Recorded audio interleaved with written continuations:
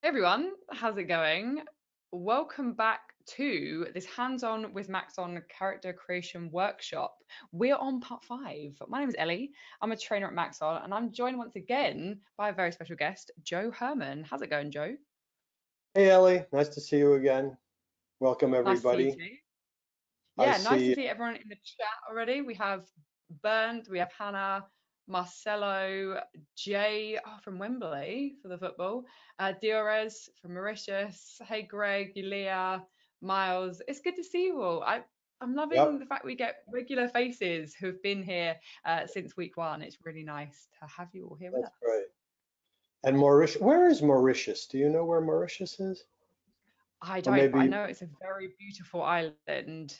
Uh, a friend of mine has been on holiday and it's one of those places where when you see like a photograph i'm like that can't be a real place because it just next to madagascar okay i got you i got you i sort of know where that is it's off the coast of africa i think so. Very that nice. sounds incredible oh i see yes on the indian ocean on the east side of the african continent. Awesome. Well maybe we can go do some training there.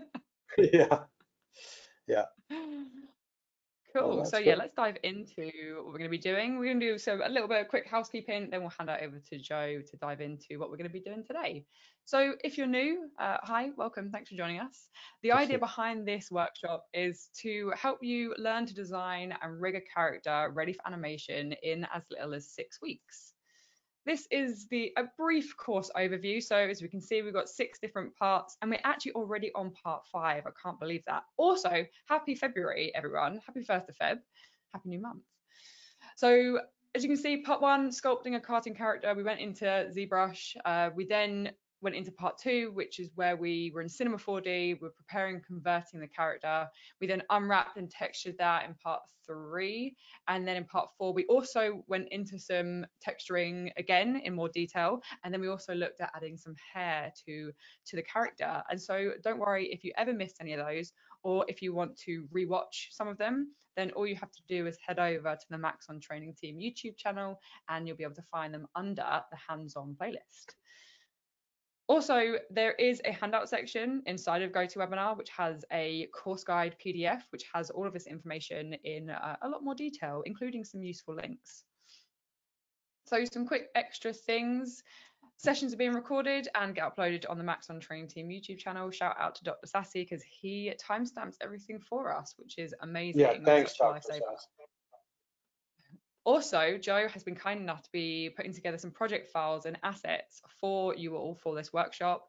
And those are on a Dropbox link, again, inside the handout section of GoToWebinar. And you can use that stuff. It's, it's yours to have forever to keep. So enjoy breaking it down and playing with it. Also, I know a bunch of you have been taking advantage of this next sort of extra extra thing, and that's if you don't have a Maxon license, then don't worry because we are extending the full trial of Maxon One until the end of February, so the end of this month. All you need to do is email me at training at maxon.net, put the title hashtag how Maxon or just my name or something so I can so I can find it and importantly, you do need to have a Maxon account and you do need to have activated your trial. You can do all that within the Maxon app and then just let me know and I can do that for you we love seeing your work and i know a lot of you have been already taking advantage of sort of uh, showing us the stuff you've been created throughout this workshop on instagram twitter all the all the socials. Uh, if you want to do that just use the hashtag hashtag howmaxon and feel free to follow both myself and joe on socials. Our stuff is there at joe herman artist or at it was ellie. And also follow joe on youtube. He's doing a lot of amazing tutorials on there. Uh, again all this information is in the handout section of GoToWebinar Cool. Part five, rigging the body. So, Joe, what are we doing today? Good question. So, we're finally up to the point where we're going to start um, actually rigging the body. Um, and uh, there's a couple of questions. Somebody actually asked, um, well, for those of you here uh, you may or may not have seen my other course that I did not too long ago called uh, Intro to Rigging, and uh, which talked about some basic rigging concepts as well as some more advanced rigging concepts. And in that course, we did rig a, a, a character uh, using the, um, the advanced, the character object using a template called the advanced um, biped character. And uh, that is a great rig, actually. Um, it was, um, I see Ellie's looking it up right there, but um, that is a great rig. It's uh, it, it, comes with Cinema 4D, and it's got a lot of things, a lot of um, uh, different uh, um, abilities in that rig to do many different things, like you know, squash things with your toes, and you know, all kinds of of of, of it's got all IK, FK, IK, all all that type of stuff. Um, we're going to talk about, by the way, some concepts like FK and IK, but if you don't know too much about what FK is, what IK is, what a joint is, you know, um, I suggest, you know, I would recommend you looking at the first course to get a, a thorough grounding in rigging, um, uh, because we're gonna we're gonna talk about it in this course as well, but but we really sort of picked it apart in that course and unpacked it much more uh, in depth. Um, so now for this character, we're not going to use the advanced biped rig. We're going to be using the uh, something called the Mixamo control rig. And it's actually also a, uh, a new, um, I mean, it's also a very capable rig, even for animation, uh, because it has full IK controls. But the benefit of the Mixamo control rig is that you can use it to, to apply uh, motion capture to the rig in an easy way. You can actually apply motion capture to the other rig as well, but it's a lot less easy because you have to create a special character definition for it and it's much more difficult. By using the Mixamo control rig, uh, it's actually a lot easier to apply motion capture data to your rig. And the fact that it also has IK controls and FK controls built into the rig is that you could add like another layer of animation to the motion capture, which makes it extremely powerful. So somebody asked in the beginning of the course about motion capture. So, and the way that it works is like this. When you're creating a character and you're animating a character, you have three choices. You could either um, it by hand, which is like the art of animation. And by doing that, you know, if for those of you who are interested in animation, you know, there are certain principles that were developed actually a long time ago at the Walt Disney Corporation by, you know, the quote unquote nine old men, things like anticipation and follow through and, you know, different types of um, techniques because really animation in the classic sense uh, is about exaggeration and it's about expression. Okay, so um, the, and you don't really get that too much in motion capture uh, in the same way. Motion capture captures the human body as it naturally moves, uh, and unless you're a really good actor where you're over emphasizing different things, you know, you're not really. Um, it's not really animation. I remember when the first Pixar movies would come out, there'd be a little thing. I don't know if you remember this, Ellie, but at the end, I don't know if they still do it. At the end, they would put a thing like no motion capture used, you know, in this film, because it was kind of like cheating, you know. But the thing is, is that um, so so the thing is, that you know if you're an animator, you may not use motion capture at all. You might want to just hand animate your rigs and get uh, you know, uh, um, a thing, uh, you know, a, a, look to it. Um, but keep in mind that animation is is not an easy thing, and it takes years for you to get like, you know, or it takes doesn't take years, but it takes a while for you to, you know, get something that works good. It's very detailed work, but it's certainly if you ever look at some sort of pipelines at from the top studios in the world, you'll see that you know, they'll do one, they'll do a block out of the animation and then they'll refine it a little bit, you know, and then they'll go through a second pass. First they'll storyboard the whole thing and, you know, and then they'll do another pass. They'll keep refining it and refining it till they get exactly the performance they want. And, and that is the art of animation. And there's some great books about that. I think that one of it was called The Illusion of Life. And it was uh, written, you know, if you about, and there's a lot of about Disney in that and the, you know, even going back to the 2D ways. And of course, if you watch Pixar films or, um, you know, high end stuff, you can, you know, watch it and study how they animate the characters and how the characters move. There's a whole art to that. The second way to animate is use motion capture. Now, if you're doing something like, you know, type um, Avatar or something like that, those are like quote unquote animated movies that rely heavily on motion capture because um, they uh, they're meant to look real. Those characters, you know, it's not you're not doing anything like, you know, um, I'm sure that there's some hand animation that goes involved in that as well. But if you look at at the behind the scenes stuff, you'll see all the actors wearing, you know, motion capture suits and uh, then also facial capture devices and stuff like that. Um, and that's also another way to do it. And um, and that's the second path you can go on. And then the third path you can go on is kind of like a mixture between the two, where you have motion capture, but you're adding hand animation on top of the motion capture, you know, and then you're sort of using both at the same time. So so what I would suggest is that if you're planning to do animation, okay, like hand animation, uh, you could probably, one of the best rigs in there um, is the uh, advanced biped rig. It's a great rig. You could use that. And you could make a version of your character that uses that. There's actually another rig in there. It's called the Toon rig, right? And it's really meant to get really stretchy, crazy type of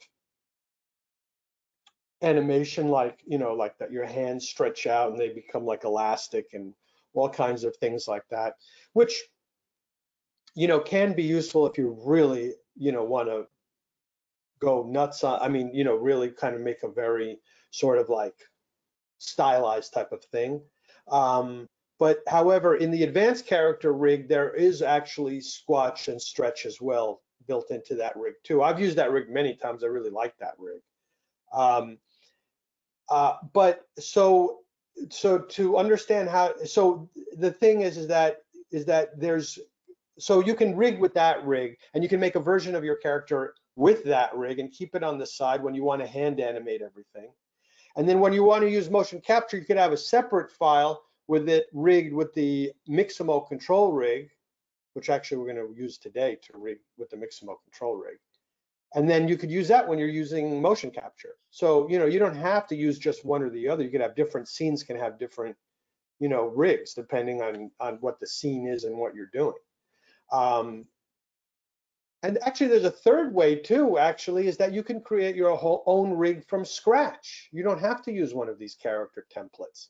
In the rigging tutorial, in the rigging series, in the first rigging series, we went into what are joints and what is IK and how to set up IK between joints. You can actually build your own rig.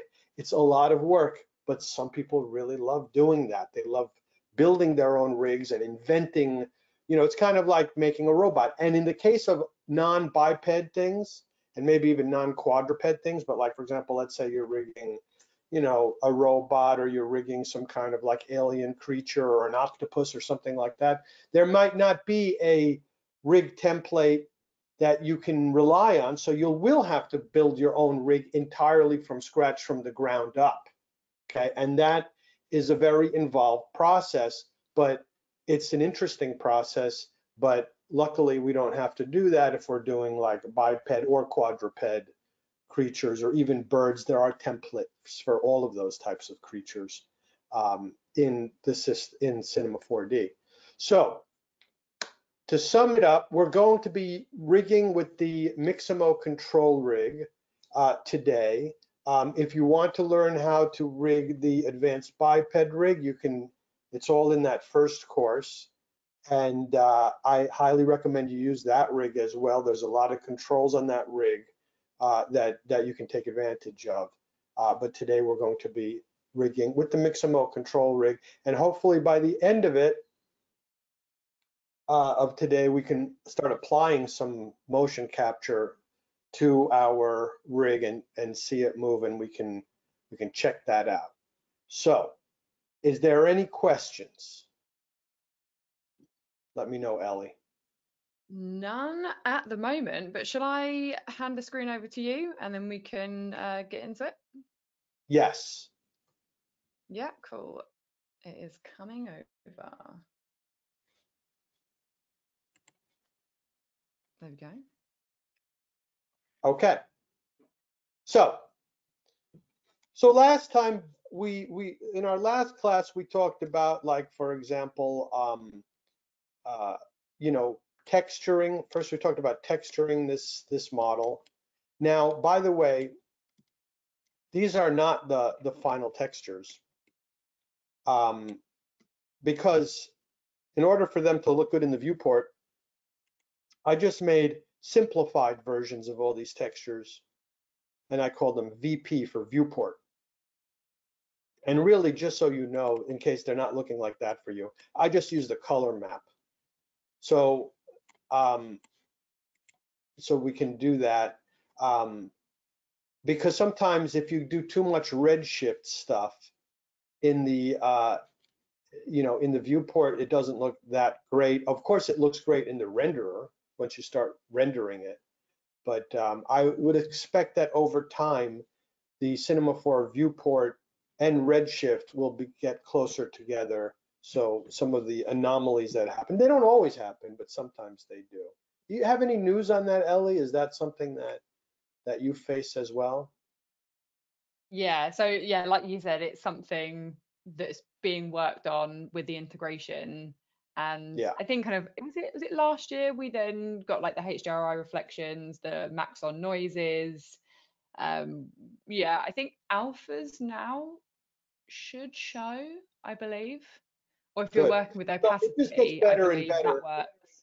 Right. So all of these, like I said, all of these textures are just simply like you notice that I didn't put the uh, last class we sort of like had like a pattern on the shirt. So they're just all that all they are is just it's just a color map going into um, into it just so that way we can look at it right in the viewport. And then we've got the hair up here, and this is obviously just a viewport, um, you know, approximation of the hair. But you know, we can turn the hair off, and we might turn the hair off actually, uh, because we don't really need it when we're rigging, you know. But we might we might leave it on as well. Um, and uh, so we're kind of like uh, you know ready to start rigging this character. So the thing is, is that um, is so what happens. So I have all this character geometry and this character geo tab. These two items are parametric items, so they're um, they don't. You notice, by the way, the parametric items don't have a UV tag because they don't have UVs because they're parametric. Only only meshes have UVs. Yeah. Uh, the buckle is out here because the buckle is not being subdivided, and all the other stuff is in this subdivision surface object because it's all being subdivided and smoothed.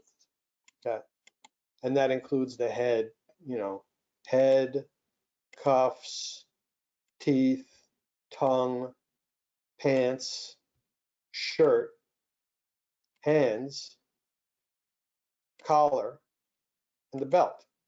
Okay, so they're all here in this null, which is all in a subdivision surface null. So what I'm going to do is I'm going to go ahead now and I'm going to um, make our rig. So the way to make our rig is we go to the character object, I mean character menu. Like I said, we could build our own rig from scratch. You know, we would go to the joint tool and we, you know, start making our own joints and we could rig this thing just like, you know, like with joints uh, as it was in the other court. As we talked about some of the techniques, you know, we could go ahead and you know put joints in our in our body and we could rig it. But to make a full-blown character rig, it, it's it's it's nothing to sneeze at. It's a lot of work. So we use the character object, okay, which are like pre-made rigs. It's nothing that you can't do yourself. Okay, if you got really good at rigging, you could make some of these rigs yourself but these are just made for you already by really high end. As a matter of fact, I know the guy who created these rigs, and he's I think now he's like doing um, he's like a TD at Disney doing really high end rigs over there. So these are like professional, really good rigs. But so we're going to create a character object by choosing that. And there's our, you know, character object right here. And the first thing that we do, okay, so you've got basics, coordinates, objects, display. So we're going to need object tab. The first thing we're going to do is what kind of rig we're going to create. So as we mentioned before, um, we could create like uh, a uh, an advanced biped rig, which is the rig that we used before. And it's a great rig and I highly recommend that you use it, especially if you're not planning to use motion capture, okay? There's also advanced for uh, other things. There's also a bird. There's a car rig here. So if you want to rig cars, okay, there's a face rig, though I never use that rig. Um, there's a fish rig, an insect rig, and there's something called a Mixamo control rig. And this is what we're going to use today. We're going to use the Mixamo control rig, okay? Now, by the way, for those of you who don't know what Mixamo is, it's kind of like this line website where you could actually full of different motion files. If you want character dancing the rumba, you know, you could do that. Or if you want to have your character, you know, um, I don't know, you know, like like stalking or sneaking or whatever. It's just a bunch of different things. And you could actually upload this character, this exact character, you could upload it to their system and it will auto rig it, okay, for you. And then you can bring that back in and you'll have kind of a rigged character. That's not bad. It's not a bad rig, okay? Uh, however, um, you know, you, we want to learn how to rig ourselves because, you know, it's an important skill, but you can actually get Mixamo to do the rigging for you.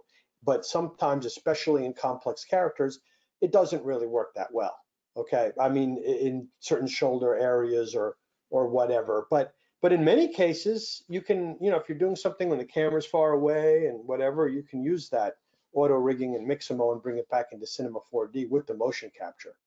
That's fine as well. But we're going to use this Mixamo control rig. So as soon, oops, as soon as we did that, you'll see that, you know, the character rig, we, we you know, we see it, we get a little um, thing on the ground here, right here okay? And now we're starting to getting ready to build our Mixamo control rig. So we're gonna create the root, okay? There, the root is being created, okay? We're gonna create the pelvis, okay? So as you can see, the pelvis has controls on it. It has like controls for the pelvis. It has the controls for the spine joints. It has a control for the neck, okay? And it has a control for the head, okay? So once we have, and you'll see that you have the pelvis component up here. So once we've got the pelvis made with the pelvis selected, we can make arms and legs. So a, a quick little shortcut is if you hold down the control key and you click the arms, okay, it creates the arms. I'm gonna hide our character for a minute so we can see what's being made here. So it created the arms as well as certain controls for the arms, okay? And then what we're going to do is we are going to create, um, now the thing is, is that I may or may not want to rig the hands right now because actually if you look in the other course, I've I rigged the whole hand and you can see how to rig a hand, but it kind of takes a lot of time. Well, not that much time, but even, I mean, we only have two hours and even like 20 minutes is a lot of time. So, but whatever, I'll make the hands. So uh, the left and right arm are selected, so I'll just click hand. And so it creates hands, and you can see that there are the bones for the hands. And uh, I'm gonna go back to the pelvis, and I'm gonna hold down the, the uh, control key again, and I'm gonna create the legs, okay? So there we have our rig which is called the Mixamo control rig, and it's kind of like ready to go. Okay. So what we're going to do is the next step in rigging this character is we are going to go ahead and we are going to show, first of all, our geometry again, okay? And we'll go to like a front view, okay? Because obviously this rig is not lined up with the character, okay? The arms are too high. Things are in the wrong position, okay? So what I'm going to do is we're going to go from the um, the build command, the build uh, tab right here, and we're going to go into our adjust tab. Okay. So once we're in our adjust tab, you notice you get these little dots, and you're supposed to put these little dots where the joints are supposed to be. Okay. So um, now, the way that it works actually is if I were to click on like a joint, like let's say the pelvis, right? Oh, by the way, you must be in the object. Because like I'm clicking on the pelvis here and I'm, nothing's happening. So you have to be in the object mode, okay? So if I click on the pelvis, you notice that I get, you know, I get a, um, a translate thing, you know, here, you know, or if I click rotation, I get the rotation. But so if I click on the pelvis like that, okay, let's go back to the front view. Okay, if I move the pelvis up and down, notice the whole rig moves because it's kind of hierarch hierarchical. For example, if I move the elbow around, you see just the elbows move, but these are kind of linked to the um, hierarchically. So you know, we spoke about hierarchies as well. So this is actually, what, what happens if you want to move the pelvis and you don't want to move the arms, right? Like I'm going to take that pelvis here, I'm going to move it, but I don't want to move the arms. Does anybody know how to do that? Does anybody know how I can move the pelvis without, or let's say the spine over here. Let's say I'm going to move, take the spine. See, it moves everything. Hannah says number seven, seven K. Exactly. Number mm-hmm. seven. Right. So very good, Hannah. Extra credit for you. So we're going to click the seven key, right? So now you can see I could just move that just one joint. Okay. So what I'm going to do first of all is I'm going to click on the pelvis and I'm going to move the pelvis right here, right into that center line of the character. Okay.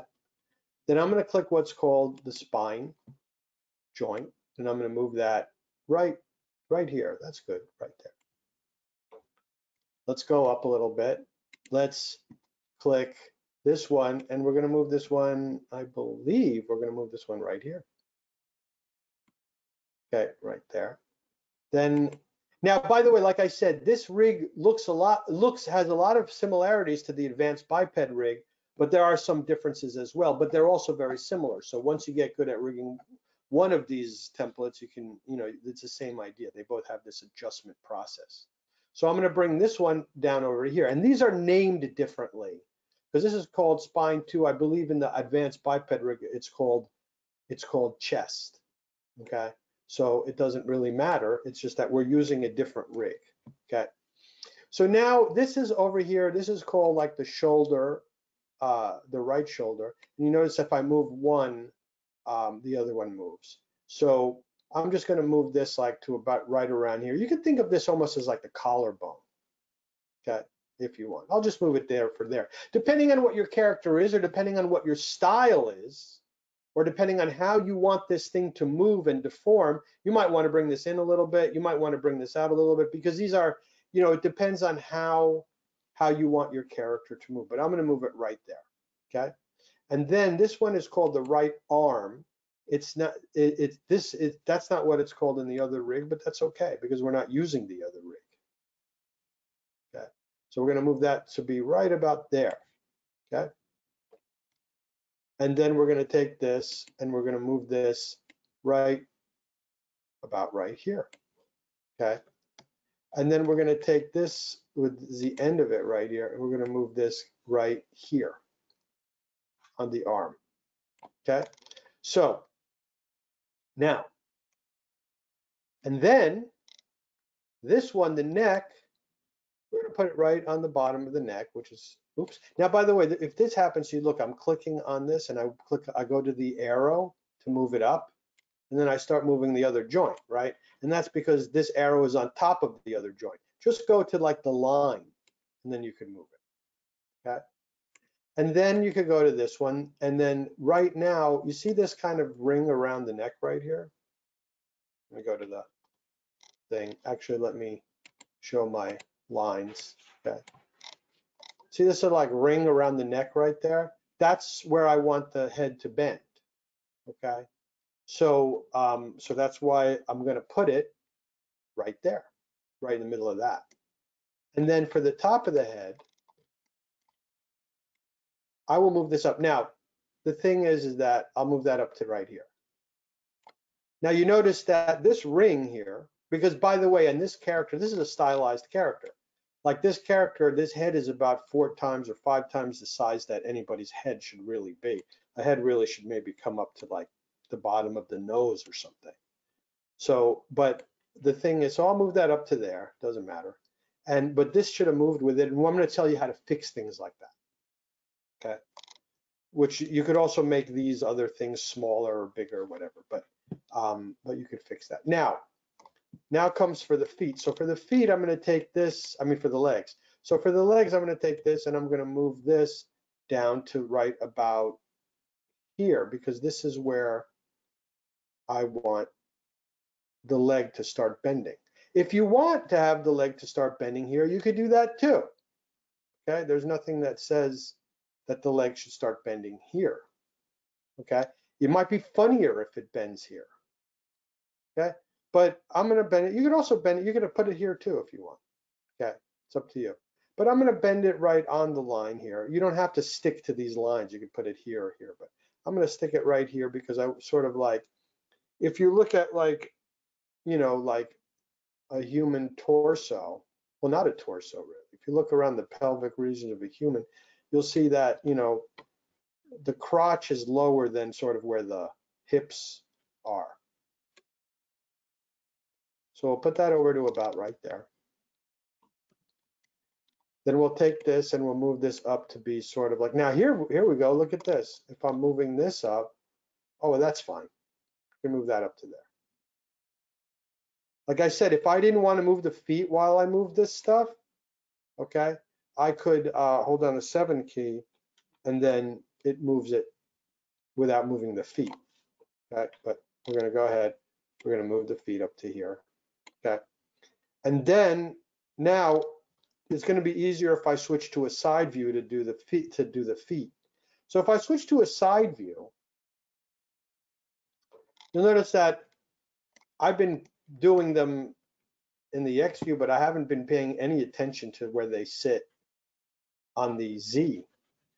You know, I've been doing X and Y, but I haven't been doing Z. So once again, so actually what I'm going to do is I'm going to drag these things to sort of where they should be on the Z axis. Right, so there we go, put this there. Okay, put this, I'm just gonna put them right along their center line. Okay, here's sort of like where the neck is gonna go. So we're gonna put it like right here. You know, you don't have to be exact with these things. Also, by the way, during the rigging process, this is kind of an important point. You might find some flaws in your model. Like you might want to move things backwards or forwards and and so you can just go back and you could fix that. You know, it's sort of an organic process. You know, we're doing it in steps, but really, you know, you kind of do some texturing, you do some rigging, you go back, do some texturing, do some more rigging, go back to the modeling phase, go back to the rigging phase. You know what I'm saying? It's it's it's a, it's fluid like that. So we'll bring that the the um the the uh, neck, the bending of the neck, right around there. Okay, and that's fine. The head, you know, that's fine for the head. Okay. And now we're going to do the legs. Now, in, in, in, in rigs in general, and certainly in the Mixamo control rig, it's good to actually bring the knees a little forward. Because sometimes when you make a rig, the knees can bend backwards. And the way you prevent that is by moving this a little forwards. Okay.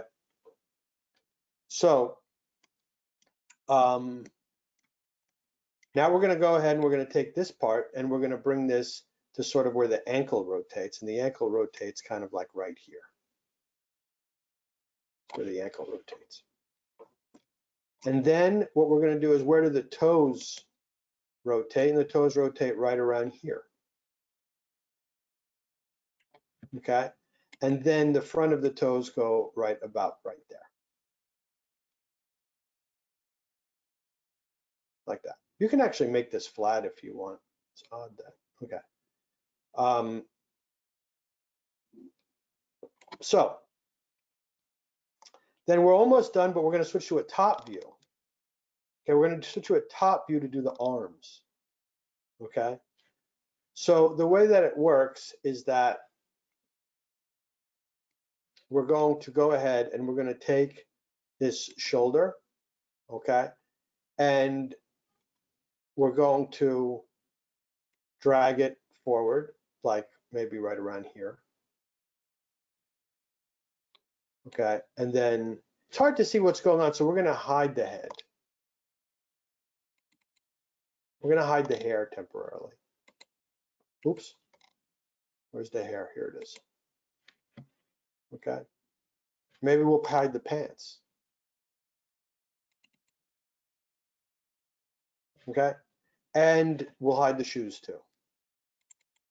So that's a little bit clearer what's going on here. So we'll take this. This is sort of like where the shoulders are. We'll move that forward to be right around here. Okay. And then we are going to click on the shoulder, drag that sort of like, now just like the knees, it's better, don't, don't, especially don't drag it like that. Okay. Sort of like drag it a little bit. Just a little bit we'll do it. And for the hands, we're going to sort of put this right, you know, where the wrist is, which is going to be right around here. Now, I might decide to do uh, to do the whole hands right now. Like I said, I did rig the hands hands in the other course, but let's see how much time we have, because I might decide not to um, to do all the fingers on this, just simply because uh, so we can get to what we're doing. But we might come back and do it later. So let me show the parts that I hid. Okay. So now I've got this sort of like adjust adjusted. There's a little thing reminding you knees should bend forward. We've already done that, so you could ignore that. So the next thing that I'm going to do is I'm going to um, go, we went from the build, okay? We went to the adjust. You can always move back and forth between these things. And now we're gonna go to the binding tab, okay? So we're gonna click on the binding tag. And by the way, in the character object, depending on what you're doing, okay, it, it, shows you different things. Like when you're in the adjust mode, you only see the components. But when you're in the binding mode, you see act you actually see the the hierarchy of the joints and the controllers. Okay, so you know it depends sort of what you're doing. Uh, but right now we're in our binding tags tag. And what we're going to do is there's several ways to do this, really. Okay. But, um, and maybe the manual way might be better, but it would take a long time to explain, but it might be better because it'll be cleaner. But we're just going to do it the easy way is we're going to select everything that we want bound all of these, you don't have to click the subdivision surface. All of these meshes, because these are all just a bunch of polygon meshes here, okay? And as well as the buckle. And I'm not gonna do the eyes right now because they're not meshes, okay? They're spheres, okay? And then I'm going to alt click on the character object. So all those things are now selected. And I'm going to go to the character menu and I'm going to choose bind. Okay, so now these are all bound together. and actually, um, and so a few things happened. First of all, everything got what's called a skin tag or a skin deformer, which is really, you don't have to know much about the skin deformer except that it's telling this mesh that, hey, you're a piece of skin now, or you're, you're gonna be a, uh, uh, an object that's going to deform, uh, you know, along with a, a skeleton. That's what all those skin deformers are saying. The other thing is that each one of these things got a weight tag. Okay. And in the weight tag, it stores all the joints in the rig that you want. You could actually, for example, to be honest with you, in the head joint, you don't need the shoulder joints in here. So you could delete them if you want, but we're just going to leave everything in there. Okay. Uh, so that's what, and the weight tag stores the weights of the character in the, in the weight tag. Okay. And and that's so now what we're what so now that we've bound this we actually it actually came along with what is called um, automatic weights.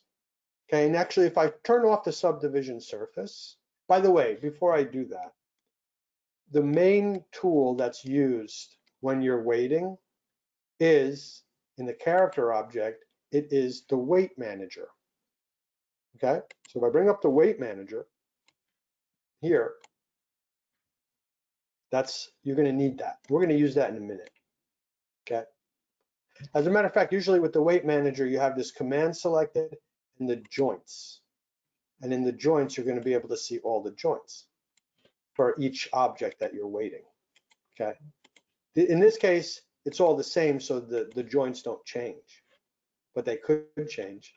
But anyway, so this is like the setup that you would do when you're weighting. You got the weight manager out, okay? Now, if I select the head, and if I turn off the subdivision surface, you can actually see an indication.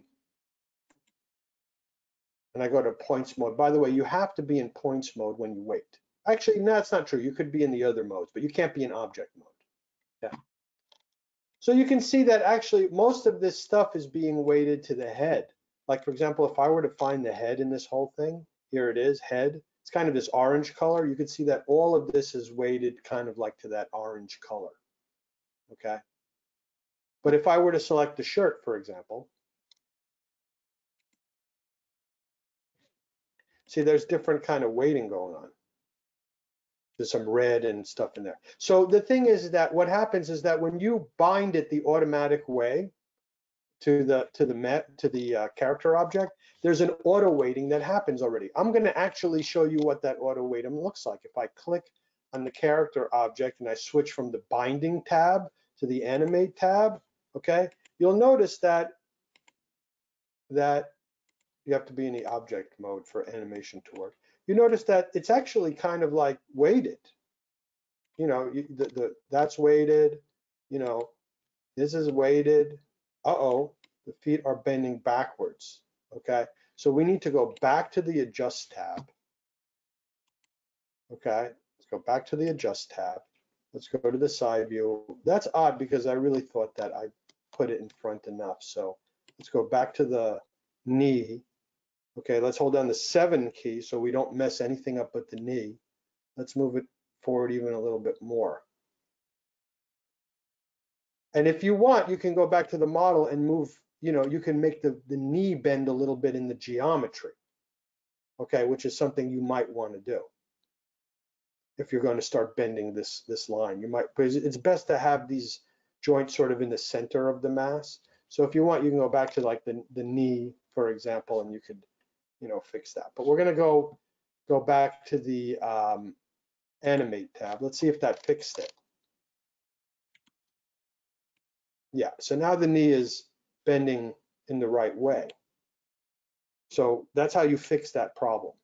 So it's be so so as you can see, there's there's some auto weighting going on already in the character.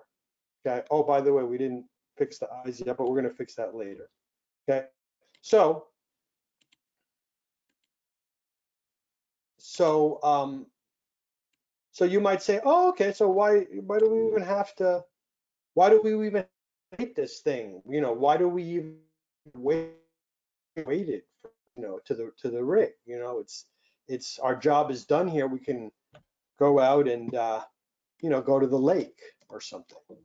And the reason is, is that because the auto weighting doesn't do such a good job.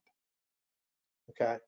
So like I said, by the way, this is the, um, the unsubdivided, um, uh, mesh, you know, if, if you press this, then it's smooth. So that's, if you're wondering why it looks funny, it's because the subdivision is off.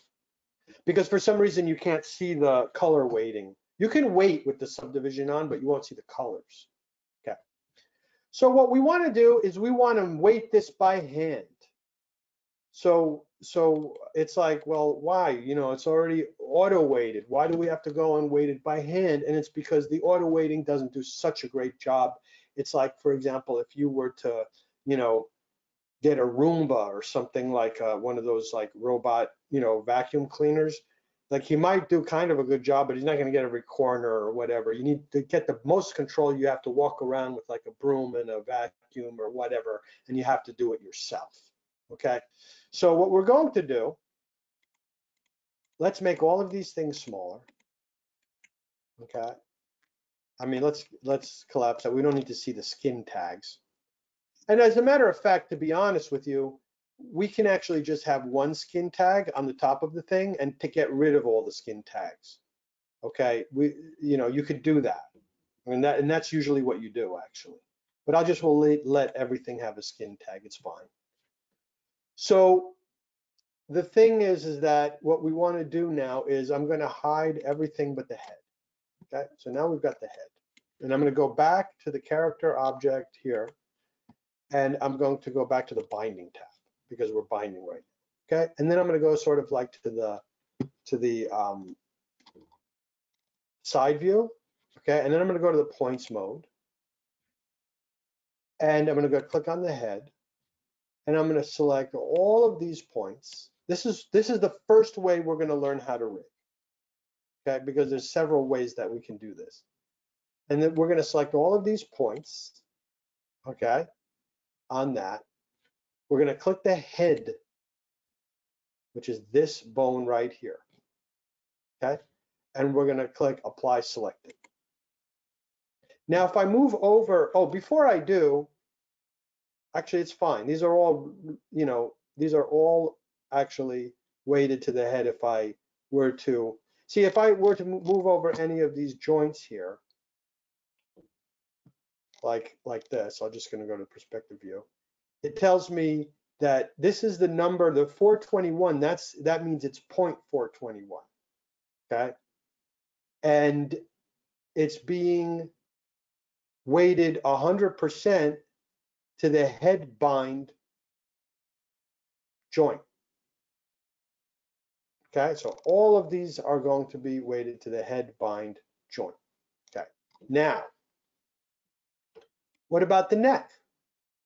Well, like I said, a lot of this detail, a lot of this information is is covered much more in depth in the other rigging course. Okay, but the thing is, is that if I were to select, go ahead now, and if I were to select this uh, row of points, okay, like that, and if I were to select two joints here, head and the neck, right? And if I were to, I'm going to zero them out first. Oh, did that zero out everything? Yeah, it did. Okay, that's all right. So I'm going to select both of those, okay, with this at absolute, and if I hit apply selected, because there were two things selected, right? Because there were two joints selected, it weighted 50% to one joint and 50% to the other joint. Okay, so now this is weighted to two joints. And then I'm going to select these ones over here. Now I can actually, um, I can actually uh, weight those to the neck. That's fine. Okay, but instead I'm going to weight it to this bone, this joint here. Okay, which is the spine too, because I don't want it to move. It's going to be like glued down to the top of the body. Okay, So I'm going to apply that, apply selected. Okay, so you can see that now those are weighted 100% to that joint, right? So now what happens is that if I were to um, go to the animate mode, animate, I'll turn on my subdivision surface, okay? And um, now, first of all, I don't see the controller for the head, okay? So if I go to like the left mode, because it's somewhere in the head, in the body, that's kind of like a little, a little bug or something, and I need to report that.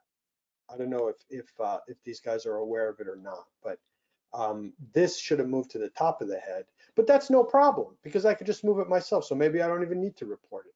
And the way you move these or make them smaller, the controllers, is you simply go to the, um, uh, let me see here. I think it's the bind. No, maybe it's the adjust. Maybe it's in the build. Go to the build area and you go and you find, or maybe it's in the animate area.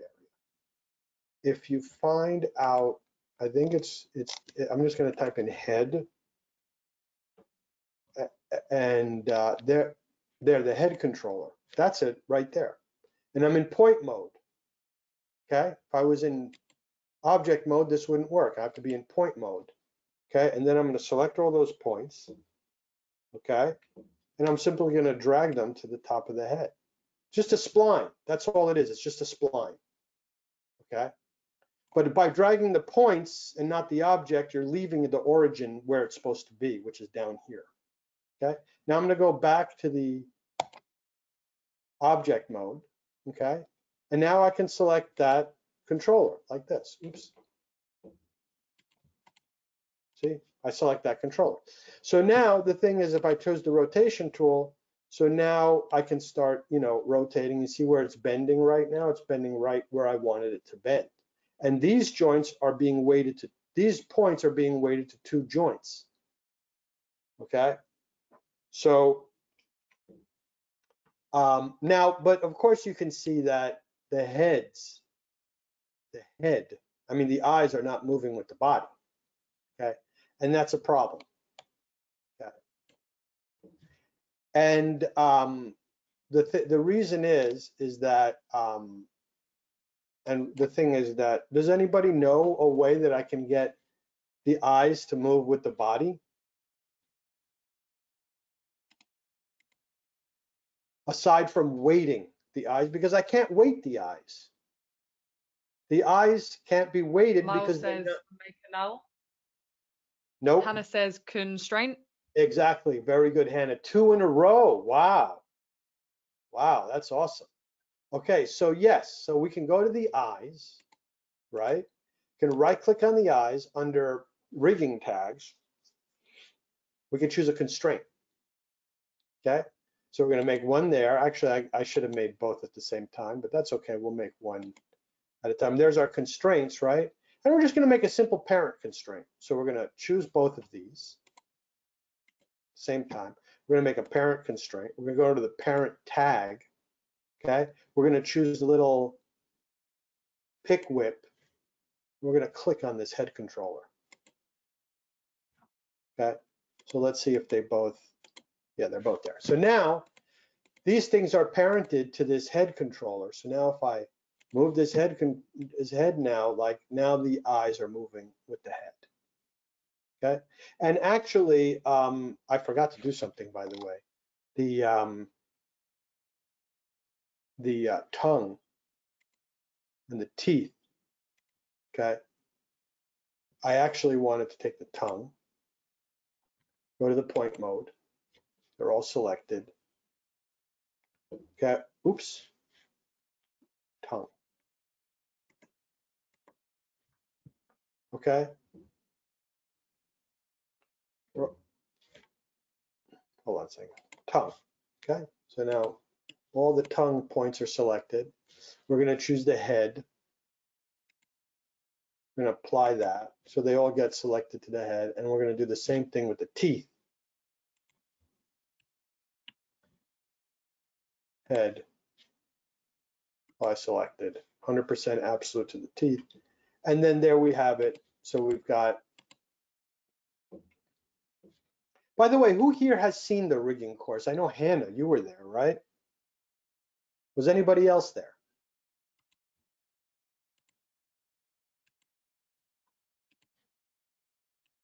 Okay, so now, by the way, you see now the teeth and the, um, and, and the, was in, anybody else there, uh, Elly? Yeah, so Rune and yeah, Hannah was saying, yeah, it's fantastic. Cool. Marcelo So now, yeah, well. very good, very good. So now the teeth and the tongue are also moving along with everything. Okay, so now, so now the head is weighted. Okay, and now we're gonna we'll do the collar. The collar is also really easy. You just click on the collar, go to the point mode, select all the points. Okay, and we're gonna weight that to the spine too. The uh, this joint. Okay, apply selected. So now that's weighted. Okay, you can double check by checking that. So now comes the shirt. The shirt's a little bit harder now. Okay, so we're gonna choose the shirt. And the shirt, oops. Let me make this a little bit smaller. We don't need that, that big. Okay. There's a lot more going on with the shirt. I'm gonna hide the collar. Okay, and I might as well just hide the head as well. And that looks a little creepy, but we'll leave it there. Okay. So now what we're gonna do is we are going to, or maybe we'll hide, because I don't want anybody to have nightmares. We'll hide the, uh, that. So we got the, we got the shirt. So rather than doing the way that we've been doing, which is by selecting points like this, and then choosing this apply selected absolute. We're going to choose a very important tool um, called the, uh, first of all, this is the character menu. I'm going to rip it off right here. And I'm going to put it over here. And what we're going to do is we're going to choose a very important tool. It's called the weight tool. Okay, and I'm going to take off the subdivision surface. That's the weighting. By the way, I'm going to select all the points on this right now. I'm going to just select all. And I'm going to zero them all out. Okay, so there's no weighting on any of these points. See, it's 0% on all of the points. I threw away the auto weighting is basically what I just did. Okay. Now the weight tool is a really interesting tool. Okay. Because it lets you paint the weights.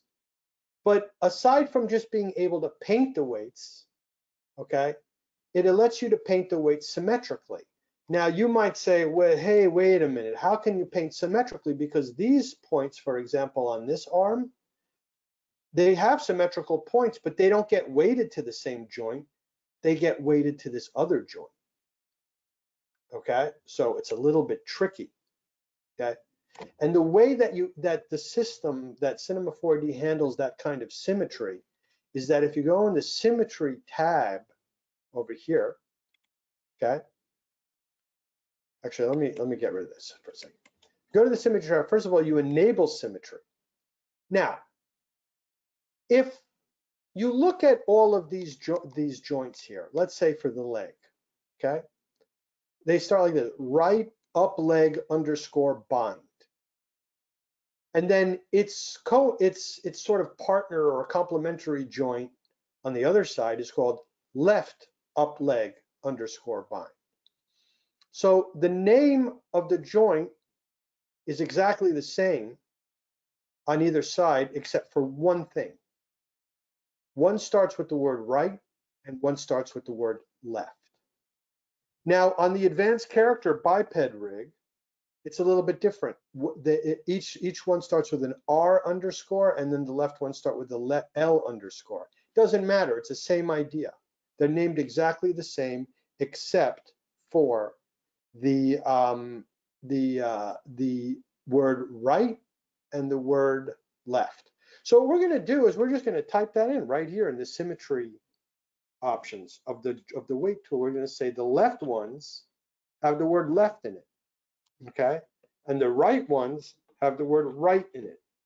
So you might be asking yourself, well, why did they do it that way? Why didn't they, they keep doing it the same way of, as the um, as the uh, as the uh, advanced character biped rig? Why they just keep the R underscore left underscore or L underscore? And the reason is because this is the way Mixamo probably does it. So there, this is a Mixamo control rig. So this is the way they're doing it. But doesn't matter because it works the same way. Okay. And then you choose the the mirror. Okay. So we're mirroring on the on the YZ plane. So in other words, think of the mirror, you know, standing like whatever. Um, well, anyway, just think of a mirror from one side to the other. If you want to mirror a different angle, you could do it like that. So now, watch what happens. I'm going to take the weight tool. Now, the thing about the weight tool is that its strength is different than this strength. Okay, if I make this 50, 45%, this strength stays to 100. So don't think you can change the strength of the weight tool here. You can't. Okay, you have to change the strength, change the strength of the weight weight tool here. Absolute, same as here, absolute, right? So watch what happens. I'm going to take these points right here, and I'm going to go ahead and I'm going to drag over them like this. Oops, now here's a problem. I just weighted these to every single joint in the whole rig. And they're all being distributed at 1.54%. Why? Why did this get distributed to every single joint on the rig? Does anybody know the answer?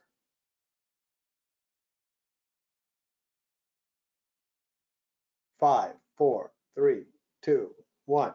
Okay. The answer is is because I didn't Hannah select. said you didn't select them. Very good, three in a row. I'm keeping track, Hannah. Very good. So because I didn't select the bone that I want to weight to. So I'm going to undo that. The bone I want to weight to is this one, the the uh, right arm bind. Okay. Now I'm going to select these. Okay. Now you see I'm select. I'm doing 100%. See 100% over here. 100% to the right arm bind like that. Okay, so now that gets 100%. Now, but here's here's the magic of it. Let's go to this side. What are these points weighted to? Let's hold down.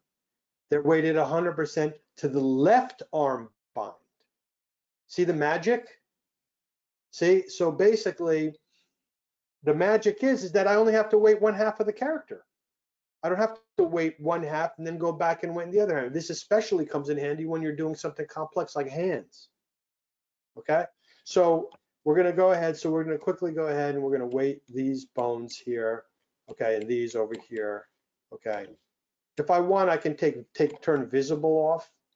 Okay. Now, to do the shoulder, actually, I'm just gonna, you know, do what I did before. I'm gonna select the right arm bind and the right forearm bind and then drag it um, and drag this. Okay, and now they're 50% on each like we did with the neck. Okay, now by the way, this is going to give us like a little bit of some um, deformation, like some squishing on the deformation. In the first course, we talked about the concept of what's called a, a fan bone which helps with that type of thing, which helps with uh, like squishing at the joints. And uh, I'd probably want to do that with this too. Um, uh, is add a fan joint, but for right fan joint, so that way I won't get like a weird squishing on, on these joints. But I'm not going to do that right now. Okay, but that's certainly something that I can do to help this joint out later. And I can extend this rig because that's you could add things to your rig, even if they're even if you're using a template like this one, you could extend it. For example, let's say your character has, you know, a little, I don't know, like little robot thing or something here. You could actually add to your rig. But anyway, we're going to go ahead to the right forearm bind, okay? And we're going to go ahead and do that. As a matter of fact, if I take off visible only, then I then I then I don't have to go to the back side. I can just do it like that.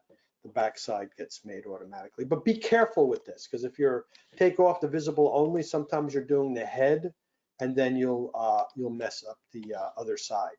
Now, in this case, um, for the shoulder, okay, so I want to choose the right shoulder bind and the right arm bind, these two joints, and I want to rig, I want to do exactly the same thing as I did with the, uh, with the um, elbow. And now these are doing it at 50 and 50. See that? They're at 50 and 50. Okay. So now this, this arm is rigged. I mean, the arm is rigged. Yeah. I mean, the arm is weighted. And the beautiful thing is, is that so is this part. Okay. So I didn't have to do it twice. Okay. So that's what's very powerful about the weight tool is you can get symmetry. Okay. Now the, these points on the top over here, okay, on the top of the um, character, I pro I want to go to, to the spine two, which is this one. And I want to weight all of these. Okay, now here's actually here's something else about the weight tool that's really intelligent. Okay, there's only one joint here in the spine. So I so but the symmetry is smart enough to know that if you choose a spine that doesn't have the word left and right in front of it, watch what it does. I select this joint, this point, and it weighted this point, that symmetrical thing, to the same joint. Okay, so it's really smart in that way. I can only, I, I still only have to do half, even if there's one bone. See, or I could go around the whole thing. It's up to you. So the thing is, is that these over here, I also want to weight to those same, to that same joint. Now, and then on the back too. Okay, and on these. Okay, so now those are all weighted to that spine two joint. Now what we're going to do is we're going to go ahead to um, this one. We're going to say spine two and spine one. We're going to go ahead and do those.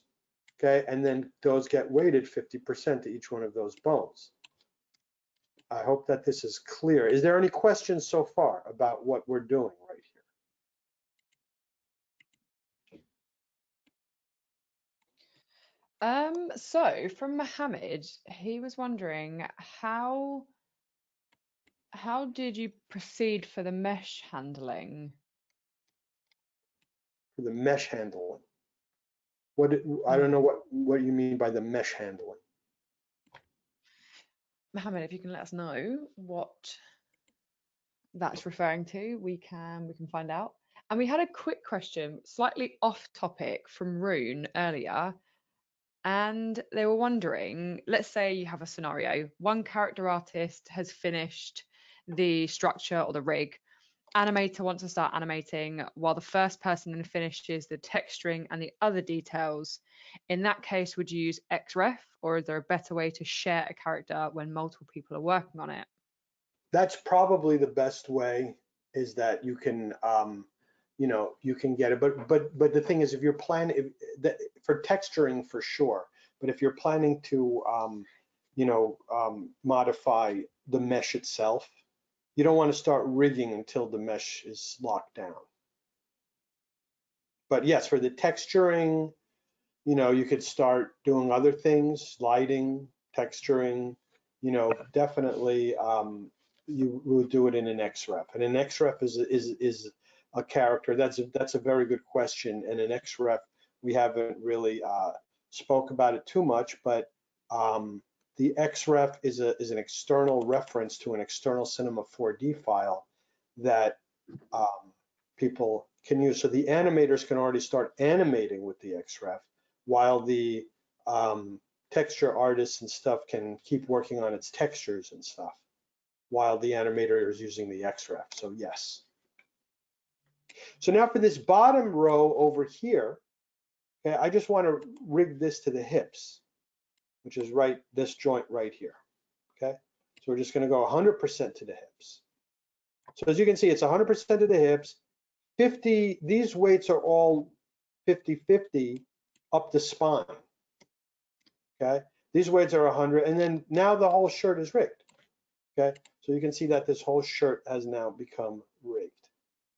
Okay, So now, if I were to bring back the head, let's say, and then, you know, um, and then the collar, okay, and uh, I'll put my subdivision surfaces on and I'll go back to the object mode, right?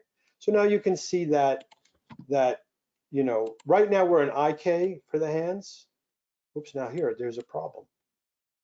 Okay, that obviously this point was not weighted correctly. So I'm gonna go back to the um,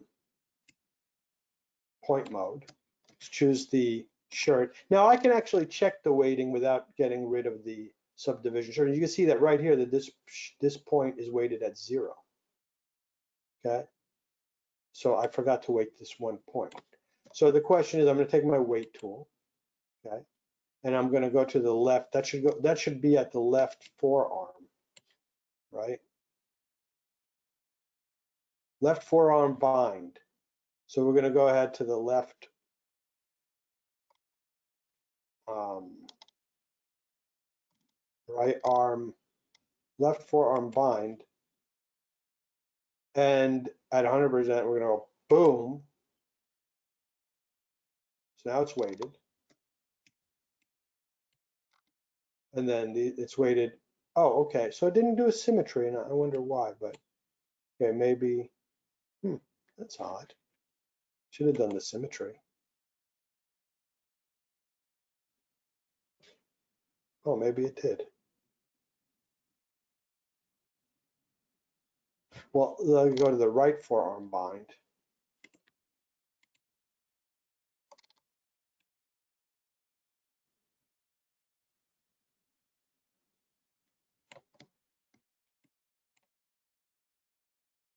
Yeah. Okay. Anyway, so we can see here that, you know, you might want to test your rig out like I'm doing because you can make you, you make mistakes when you're rigging. Okay. So now this is rigged, right? And like by the way, you can change the rig from um, uh, IK to FK. So watch, I go over all the way to IK, and so now this is an IK arm. I mean an FK arm. Okay. See that? Now it's FK, it's not IK anymore. So, um,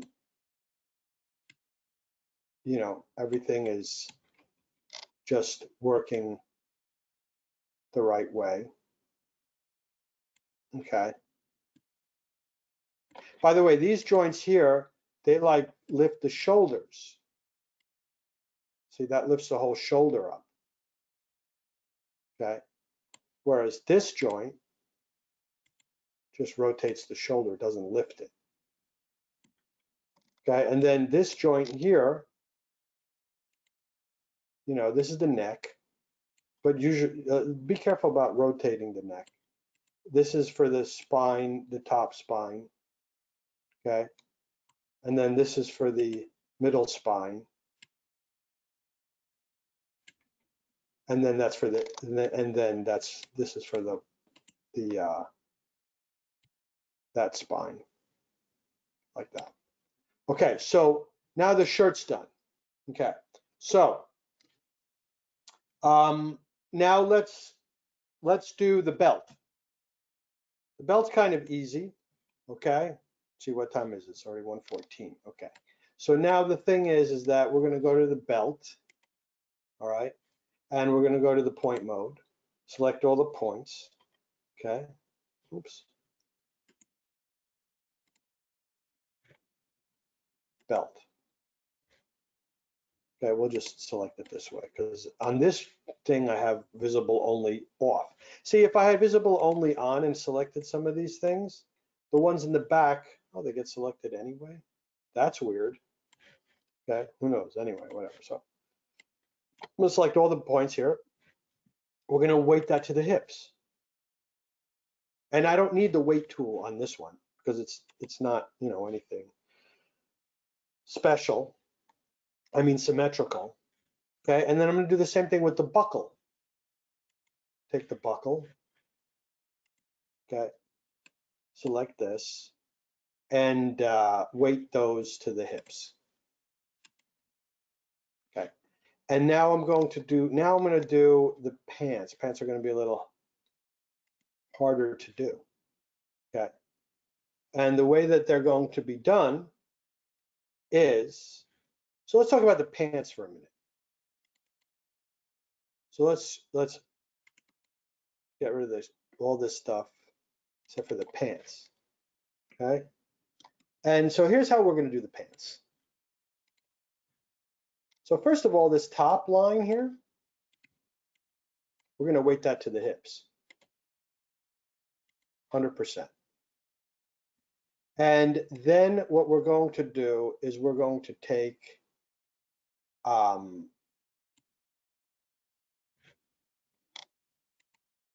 Oh, I'm in the uh, binding. I'm in the animate mode, and you can actually bind in the animate mode. Okay, but we're gonna, we, we really should be in the binding mode so we could see the joints. So, you know, you can just keep that in mind. Actually, it's. You should really be binding in the binding mode of the character object, not in the animate mode. It should be animating in the animate mode. I forgot to switch it back when I was testing the, the, the, the weighting. Okay. But you can see that all the weighting that we did do, like for example, this stuff, um, did get bound correctly. So you can conceivably bind in the animation mode. But we want to be able to see the joints. So this is how we're going to do it. We're going to go to like a front view. Okay. And this is how we're going to do it. I'm going to go to the point mode of the, the pants. Okay. And we're going to select we're gonna, we're gonna turn off the subdivision surface. We're gonna select these points and we're gonna weight them 50% to the hip and 50% to the upper leg. So we're gonna choose the hips, okay? We're gonna alt click the right up leg, okay? And we're going to hit, oh, now here's the thing. I wanna use the weight tool. Why do I wanna use the weight tool? Because, actually, before I get started on anything, I want to zero out all the weights. How come it didn't zero it out on the other side? Zero. There we go. So now I'm going to choose the weight tool. Okay, that's odd. I still have weighting here. Oh, okay.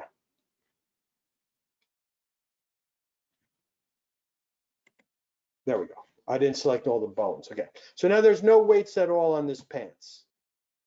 Okay. So now the thing is that the reason I want to use the weight tool is because these are symmetrical with these joints and they have different bones.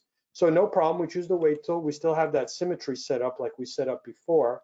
And I'm gonna go ahead to the options 100%. I'm gonna choose the hips and the right up leg and I'm gonna start painting and notice that I'm painting symmetrically the weights. See that? So all of these weights here get painted on the other side. So these are to the hips to the right up leg. These are the hips to the left up leg. Okay. And also um, these, by the way, I zeroed them out before. These should be all weighted 100% to the hips, as should um, as should these, I guess. Yeah. Or if you want, you could actually weight these 100% to the hips and 25% to each leg. So how would we do that? Well, they're weighted 100% to the hips already, okay? So if I change this to 25% on the weight tool, and then if I choose the right up leg and the left up leg and paint it look what I have. I have 50% on the hips and 25% on each on the right and left up leg. Okay, so that's also an option. Although I think it would have looked fine. Now look, I forgot a point here. This should go 100% to the hips. Bring this back to 100%. 100%, 50, 25, 25, so then there we go. So now these, about right here, these over here, these should go 100% to the right up leg. So we're gonna go ahead, go around here. That like that. So should these. I'm gonna take off visible only here. And I'm just gonna go ahead and do all these like that. And then I'm gonna click the right up leg and right leg. Okay, and do these so they get weighted 50-50. Then the right leg, okay, we're just gonna go ahead down to the bottom here. So hopefully that's good. Now the pants are done. Let's quickly do the shoes. Okay, so with the shoes, uh, we're going to say, first of all, we're going to zero everything out. So there's no weighting, okay? And we're going to choose the right leg and we're going to weight these bones, these points to it. And these get weighted to the left leg, okay? Then we're going to choose the foot, which is this thing, and we're going to weight all of these to the foot. Now here's where you want, might want to be careful about doing um, with the weight tool to do visible only because you know you could be over there you might get some on the other foot so you can actually just be a little bit more careful when it comes to these things over here so we'll do those to the foot we'll do these to the foot okay we'll select the foot and the toe base and we'll do these 50 50 on each of these okay and then we'll go ahead to the toe base and we'll do the rest of them on there. And the last thing that we'll do for the for the uh, oops, I forgot one. And I forgot this one too. Okay, so the last thing that we'll do for here is that these on the bottom should actually all be weighted to the foot. These should all be weighted to the foot, okay? And these should go 50-50 between the leg and the foot. So I choose the leg and the foot and I just go 50-50 on each of these. These are to the foot, okay? Like that.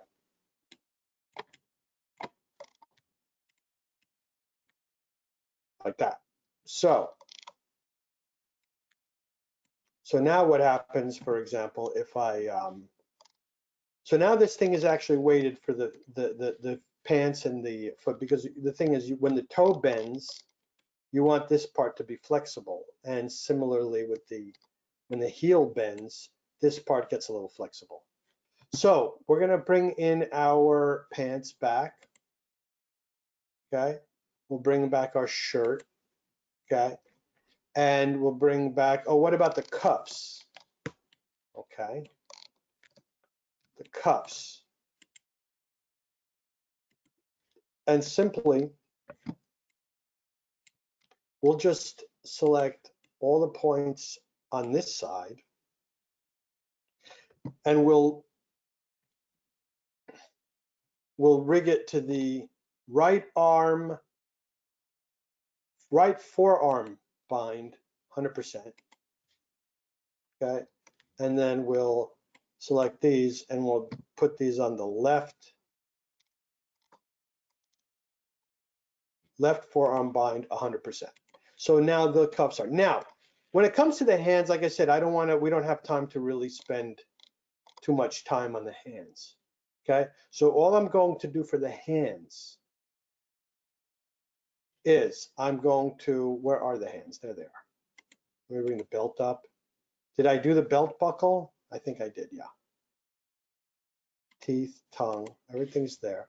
Okay, so for the hands, so let me hide the shirt. Let me hide the cuffs. For now, for now, what I'm going to do is I'm going to take the hands and I'm going to just choose these and I'm going to rig those to the left forearm bind. Actually, let me get the weight tool. And let me select all the points of the hand. And let me zero everything.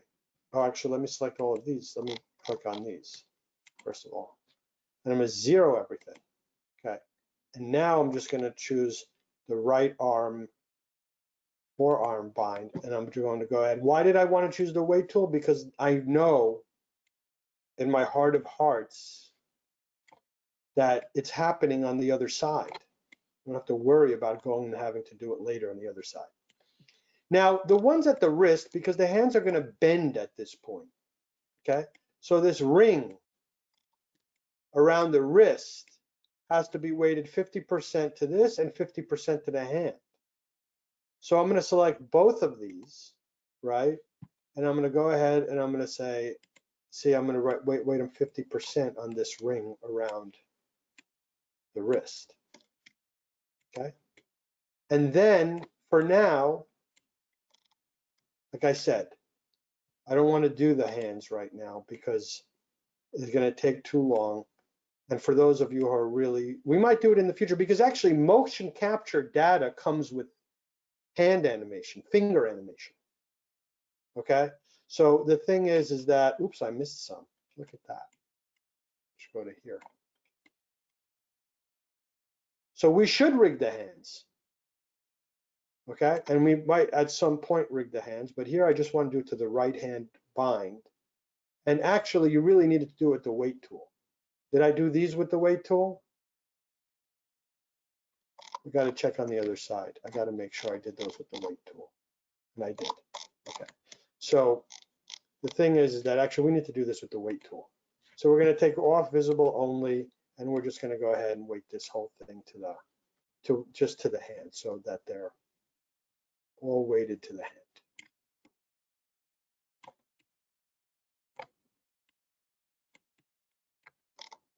Okay. Like I said, it's you want even if you're doing motion capture, certainly if you're animating, you need to rig the hand. Uh, but um, and we might get back to that at some point. So now, more or less, the character is weighted. Okay, so you know he's weighted in every way that if you wanted to have him sort of like hunched over a little bit, looking dejected. Maybe he's sad. You know, poor guy. You can have him lean over. Or if you want him to um, lean backwards, like if he's laughing or something. You could do that. Then you can take this. Now these are IK. So usually you leave the, well, there's reasons why you would have IK feet and FK feet. And we spoke about a, to a large, you know, um, extent about what the difference between IK and FK is.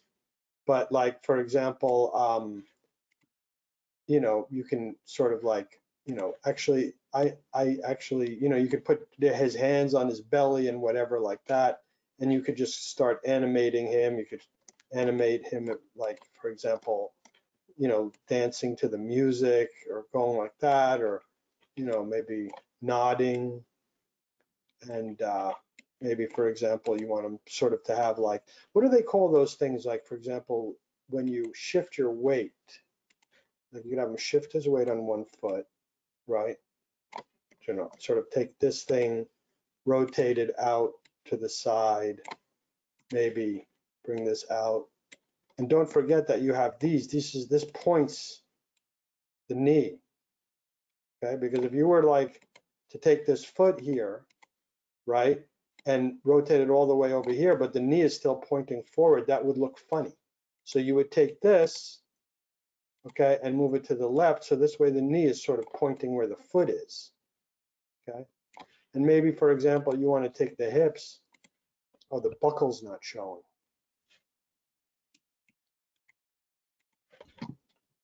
Might want to take the hips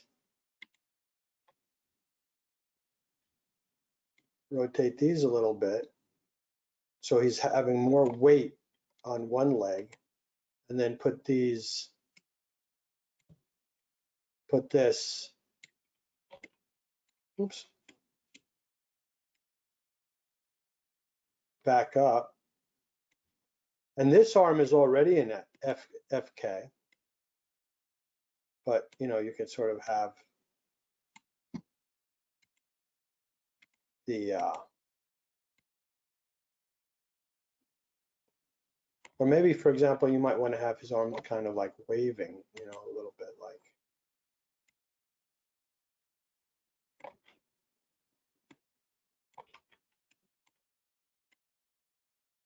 Have him look up a little bit. This can come forward a little bit. This can be rotated. I actually need to work on the hands a little bit so that way, you know, and then so on and so forth. So now, and then you could animate that. Similar to the advanced character rig, but I will say that the advanced character rig has like a lot, like for example, there's things called like, there's a little sliders that lets the head follow the, the twist, I mean, follow the chest and have the heads follow the chest. There are some controls in this rig. Like I said, you know, by the way, this would let you hunch the shoulders. Like if he's, you know, you might want to have him be like, I don't know, you know, and hunch his shoulders. That's what you would use these things come in good. Or if he's reaching for something, you can rotate the shoulders. Those are very useful. So let me just do one thing because I want to make this hand back to FK. Okay, so now that hand is back on FK. Okay, and then as you can see, the hand bends from where we wanted it to bend, but there's no rigging going on in the hand right now because I'm trying to save some time here. Okay, but the hands were rigged, or oh, every finger was rigged in the other thing. So actually, why, okay, his, his legs are still, there we go. Okay, now we're back to where we were with the hand set to F-I-K. So this character is rig rigged, ready for either animation, although like I'm saying, if you really want to just do animation, I think you're better off with the advanced character rig. But if this is ready for animation, if you want to animate it with the Mixamo control rig, and it's also ready for motion capture, and it's ready for a hybrid of the two. So now we're going to look a little bit uh, on, on that aspect. Are there any questions so far? Yes, we have had a couple. So first off, from Rune, Joe has previously recommended keeping the character mesh low poly to ease the weighting. If you're in a situation where you need to use a high poly mesh, do you spend the month weighting or would you make a low poly version, rig that and use something like a mesh deformer to apply the animation of the rig to the high poly version? That's a great idea. You could definitely do that. Um, but what I would suggest is that um, you could all, you know, you could also rig a, a, fairly dense mesh. Too dense, you don't want to bother because then it's too much work. Okay, like for example, you would never rig a sculpt. You know, it's just too dense. And then once it starts getting too dense, and also if the edge flow is not right, you notice that, you know, we spoke about edge flow and topology in in in in the earlier parts of this class. And the thing is, is that um, is it, you'll notice that every every edge that is being, uh, you know, attention has been paid to every edge. So that, like, for example, these, you know, you might say that there are certain rules about edge flow. Like, for example, um, you know, in other words, if this wouldn't deform right if these edges were like diagonal or if they were all broken. Let's say an edge ended somewhere and another one began. It just wouldn't deform right and it would look weird. Okay. Certainly it's important in the face for facial expressions, which we haven't really spoken about yet. But it's it's it's important throughout the whole model. Like for example, take a look at at at the um, at the uh, at the way that this is, you know, going doing its thing. Okay, it's um, it's it's you know, deforming based on the edge flow is an important design consideration. Now, if you're not planning to animate a character or deform it, the edge flow doesn't matter. Okay, like if it's just a prop sitting on a shelf or something, the edge flow doesn't matter. But for animation, the edge flow matters. Now, if you have dense polygons, you could still rig it, but you need proper edge. You still need proper edge flow. Okay, because if you don't have the edge flow, then and you have a dense mesh, forget about it. You're gonna you, you you're gonna it's not gonna never gonna look good. So that so the answer really is that um, is yes, you can. Eh, you just have to spend more time. And there are things like, for example, you see this thing over here, smooth. You can actually use that to smooth out weighting. You you put that on when you start painting, like even the weight tool okay, you have smooth. So for example, you could paint over a bunch of joints and smooth out their weights, okay? So, um, and now in, in the case of something like, let's say you have a really high density robot, right? But he's made out of like, he's made out of like parts that don't really deform, you know? Let's say he's got like a ball joint and he's got like the forearm is like really intricate, full of polygons, you know, thing, but that's never going to deform. That's always going to stay one piece. That's easy to, to weight because you're not smoothing out the weights. You're not distributing the weights. It's never, you, do you know what I mean? It's never, um, you know what I mean, Elly? I do. So like it's never, it's never going to bend or anything. Yeah, it's the way you explain things though is is very very good, very clear. A lot of people have said this. Yeah, it's it, it's never going to be um uh, bending or deforming anyway. It's just going to be attached to like one bone. So in that case, make it as dense as you want. But once you're going to start getting to organic, you know, modeling that where the the character is going to like bend and deform and stuff like that, then it matters. You have to have good edge flow. You don't want it too dense. Even if it's a little dense, that's fine. You could you could smooth it out and stuff like that. Once it gets too dense, it's to be too much, but the edge flow is really important.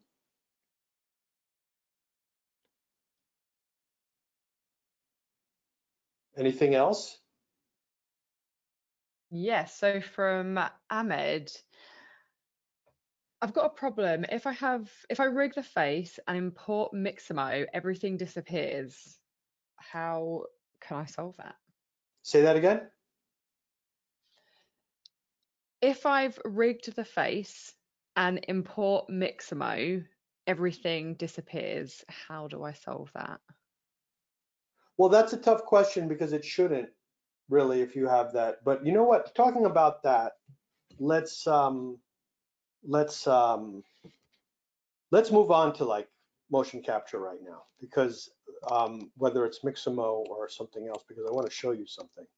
And then at the end, I'll read through the comments one time quickly, um, just in case um, we skipped over anything, right? But during it, right now, we'll, uh, we'll um, Elly's the one with the eyes on the comments. But um, okay, did you know that? Okay, so now we're done weighting. So I'm going to hide this weight manager. We don't need it anymore. Okay, we're done weighting this character. Okay, so we've got. Maybe I'll show the hair again. Okay, so we'll have put hair back on our on our model. And remember, this is just viewport hair. You know, to get to see how the hair is really going to look, we'd have to render it in Redshift, like we did in the last class. So the question now becomes like, um, so basically what we want to do is, did you know that Cinema 4D has a whole motion capture library in, in it? And so does Mixamo, okay? And so does many other motion capture libraries exist out there that you can buy or that you can use. So, you know, um, you can find the one that you want. But we're going to use the one in Cinema 4D. And if you go to the asset manager, it's here, right here under motion capture. And they have a model you can use actually, if you want to, if you don't want to use your own. But we're going to want to use our own. So, and here, here's some of the ones that they have. They've got some clapping and cheering, okay, dying, Okay, jumping. Let's let's start with the jumping one. Okay, so we're gonna go ahead and we're going to bring in this like this jump. Okay, so we double click it. And we're gonna hide our character. Let's hide all this stuff right here. And let's just take a look at what this thing looks like, what the motion capture looks like. So it looks like this, like that. Little happy little jump there, okay? So what we want to do is we want to get this motion capture onto our character, okay? And the question then becomes is that how do we do that? How do we get this motion capture onto our character? Because we got our motion capture and then we've got our character. And they're two different things. Okay. And the way to do this now, actually, this is actually kind of an advanced type of a thing. I wasn't really planning at first to do it. Um, and actually, I wasn't even really planning to use the Mixamo control rig, actually. But uh, in this class, I was just going to do it with the advanced biped rig again. But I thought to myself, well, you know, we already did do the advanced biped rig in that other course. So why don't we use the Mixamo control rig? And then I thought to myself, well, if we're going to use the Mixamo control rig, why don't we bring in some motion capture into it as well? But it's kind of like a topic for another day because motion capture is like a kind of a huge thing. But we'll do it anyway here a little bit. Um, so we've got, um, and maybe we'll take that up some other time. You know, motion motion capture. We'll take that up uh, what it is and how to really use it and how to blend motion capture clips one into another and stuff like that. Um, and then also, of course, animation is its own thing with just non-motion capture animation and what are some of the tricks to do that. But the thing is, is that what we want to do, so we've got this jump here. So what we're going to do is we're going to go to the character object and we're going to right click it and we're going to do something called what's called a character definition tag. And that brings up this character def definition tag. Notice that that the motion capture, okay, that came in ha also has a character definition tag. That automatically they just put it in there. But if you're using motion capture from another third party, it might not have this probably won't have this. So you're just going to put one in just like I'm doing now, the same process. So we just put this one. As a matter of fact, I'm going to name this character. I'll call it Billy. Okay. So now I put this character definition tag onto this character. Okay. And I might I'll, call this Billy's rig.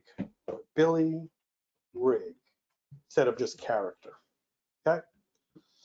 And then this is the character geo first. So this is geometry. This is the hair, which we might as well put on. This is the rig made with the character object. And then this is the motion capture that we just brought in. So what we're going to do, um, the thing is what we're going to do is we're going to go ahead and we're going to, on this Billy Rig um, character definition, we're going to click this open manager. So what is this open manager? This, you know, it kind of looks intimidating and there's a lot going on here and it's like, what the heck's going on here? But basically what this is basically saying is it's telling other motion capture which joints are what, okay? So for example, for the torso, the head joint there's, see, there's nothing in here because it doesn't really know what the head joint is. So what we could actually do is we can actually go into, um, you know, I'm dragging in the wrong joint here, but I could drag in. Well, let me find the head. Okay. The head is over here. So I can tell it this is the head joint. Okay. But luckily, um, and that's not a bad way to do that. But luckily, what we're going to do is so if you if you make your own rig, okay, you that's what you would want to do, and then you would make you would you would save your preset. Okay, so this way, if you're bringing motion capture, it knows which joints to apply the motion capture to. Otherwise, it doesn't know. Okay, it will never know. Well, which which one's the head joint? If it's if the head joint is called like, you know, like face, it's not going to know. Okay, so the thing is, is that's what this is what you're doing. You're making a definition. You're making a character definition. Now, when it comes to, since we used a motion control rig, okay, we can what we can do is we could just click this extract skeleton thing, right? And it just does it automatically. Okay. Like for example, it just does it automatically. It, it, it like if you look in head, okay, or in spine, it, it puts the spines in there automatically. So it just did the work for us. It made did all this work for us in like one click. Okay. Now it also put the controllers in there and that and that kind of it doesn't really matter, but when later on when we're going to want to use those controllers to like modify the motion capture, we're going to have to do something to fix that. But that's okay. I'm not going to worry about that now. Okay. So, so let's just so I made a character definition tag. I opened up the manager and I extracted the skeleton from this rig okay? And then the next thing I want to do is I want to set a reference pose, which is this T position. Your character has to use a T pose, okay, for this for this to work, okay? So we're going to choose set reference pose, which it just did, okay? So now, so that's it. We just made a character definition. I know, listen, I, this might be a little bit like dense, but you know, and I was really wasn't really going to show you this at all, but I decided, what the heck, let's do it. So, um, so now that, that the character definition is, we're going to just create what's called create solver, and it creates this little character solver tag. So now all I have to do now, the target character is going to be Billy, which is this character definition, and I want to bring in the source. And the source is going to be this definition.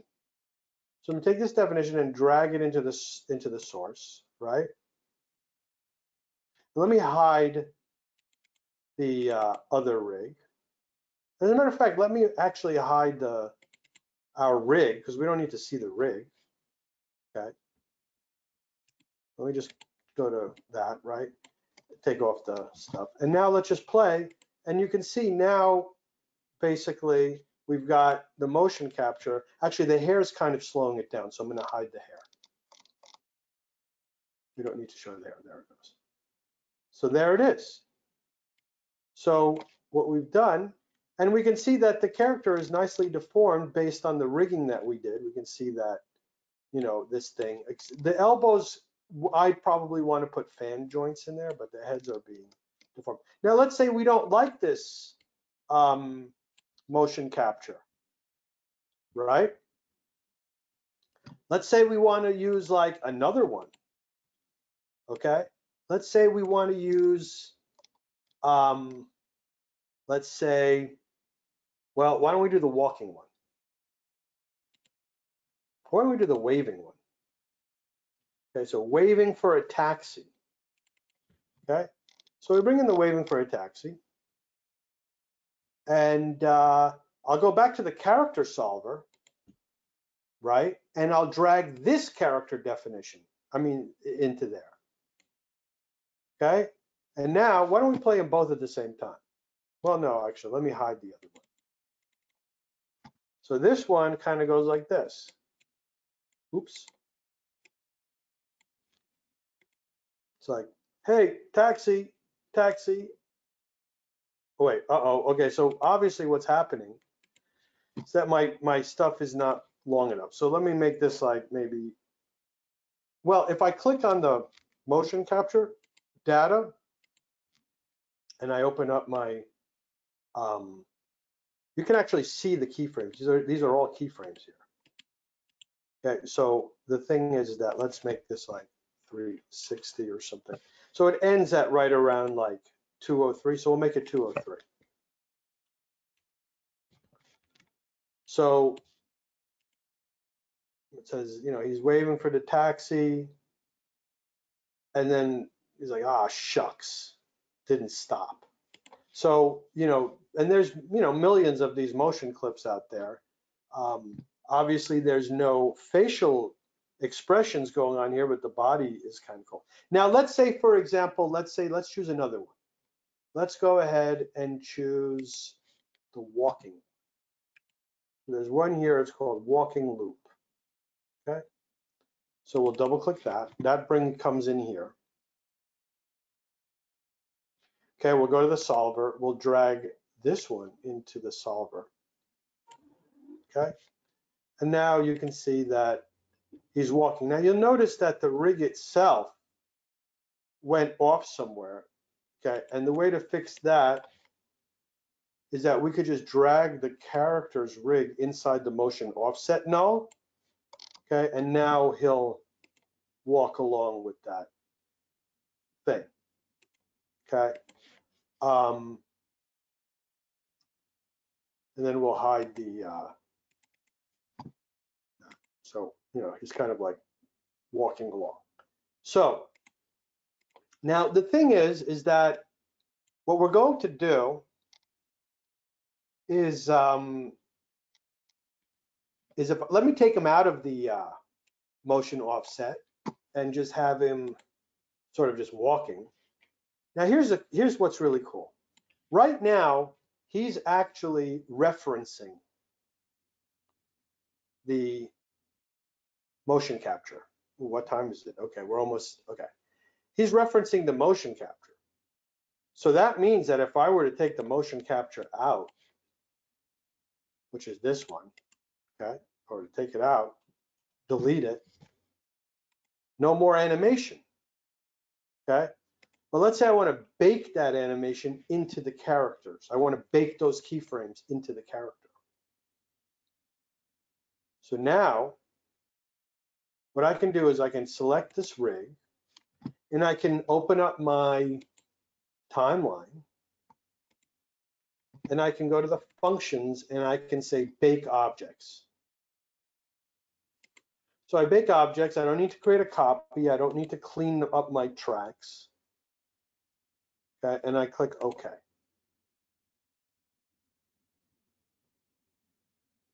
So what it's doing is it's baking that stuff. Now if I get rid of the motion capture itself, I get rid of all of the motion capture. Okay, so now there it is. The character's walking and the, the, key, the keyframes are baked into the thing. Now, here's the thing. I want to show my rig, right? Now, you'll notice that, let's say, for example, I want to use this rig to change the motion capture. So if I try to click on this rig, I can move it down, let's say over here, but if I press play, it kind of pops back up. And that's because actually the controllers got keyframes baked onto them. And I don't want keyframes baked onto my controllers. So, but I do want them baked onto my bones because it, the motion capture doesn't have any controllers on it. So it just baked like nothing keyframes onto this. So I'm just gonna I got this hips control. I'm just going to select all the keyframes on it. I'm just going to delete them.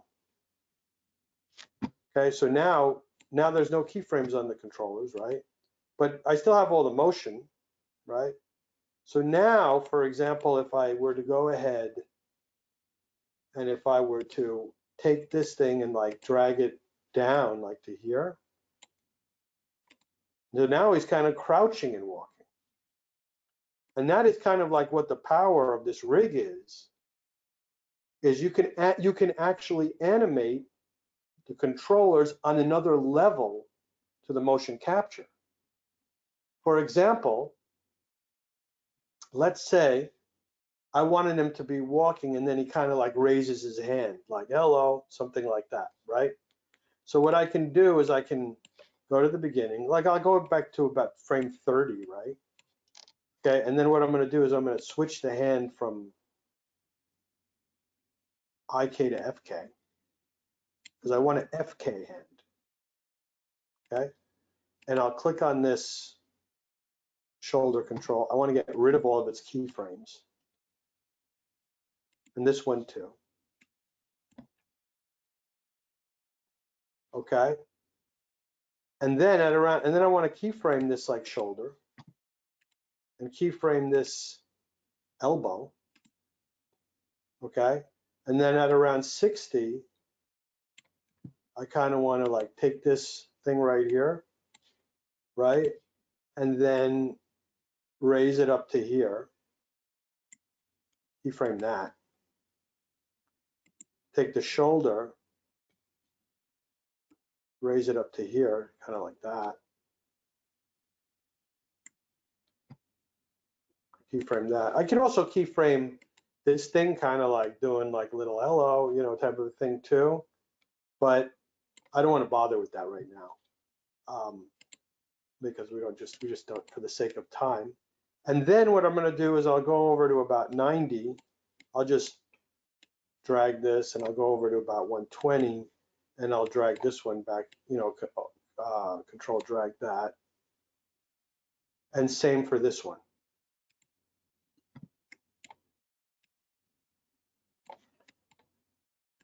Right, so then we'll do that to there, right?